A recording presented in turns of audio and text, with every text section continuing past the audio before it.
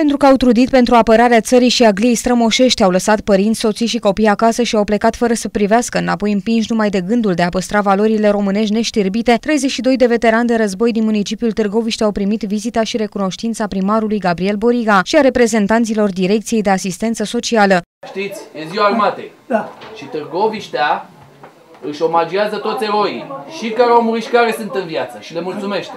Da. Și eu vreau să vă mulțumesc dumneavoastră pentru tot ce ați făcut, pentru țara asta și pentru orașul ăsta. O să vă dau un buchet de flori, Aici. Și eu vă mulțumesc. o diplomă cu ocazia Zilei Armatei. Aducem prin nostru nostru de recunoaștere. Vă mulțumesc și vă felicit.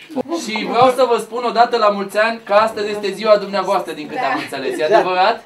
Da. Atunci nu pot decât să vă spun la mulți ani și de ziua dumneavoastră și de ziua armatei și să vă ofer un foarte mic semn al recunoștinței pe care comunitatea vă poartă. Cu tot respectul, Să domnul trăiți, primar. să trăiți și vă salut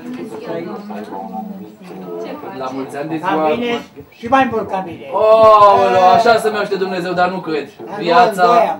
Cât? 92. 92!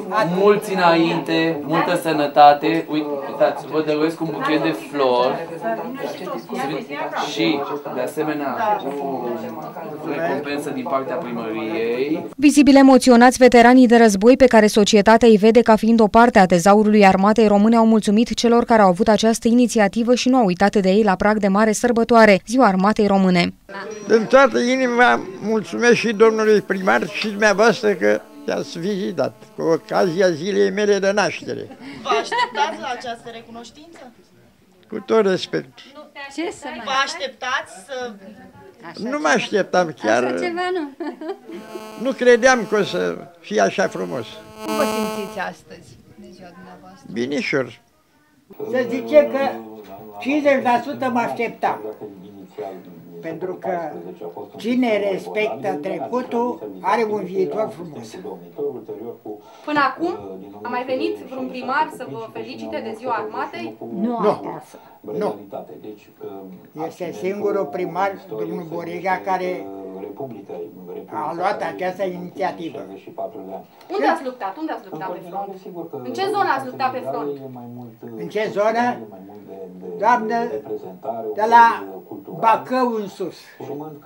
Eu am fost să merg pe front în ultimile 10 zile când se rupsese frontul la Iași. 25 octombrie, în care am început-o cu felicitarea eroilor târgovișteni, veteranilor de război, care trăiesc și care ne-au făcut pe noi, și ei și alții, unii care trăiesc, unii care au murit, ne-au făcut să fim liberi, să fim mândri, să fim demni, să fim suverani și independenți într-o Românie modernă a anului 2011.